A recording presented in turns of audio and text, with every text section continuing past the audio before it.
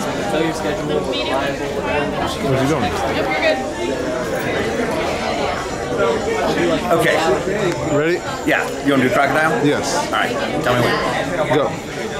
This is John Swasey, better known as Crocodile. And I'm gonna tell you for the last time, Luffy, if I ever find you again, I'm gonna rip you apart! Jeez. Boy. I'm terrified. I need an adult. Sweetness.